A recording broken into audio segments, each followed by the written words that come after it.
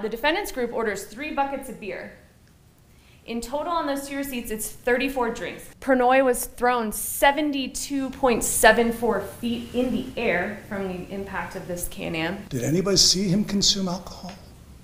Did anybody see him purchase alcohol? Why did he want you to think it's a bar?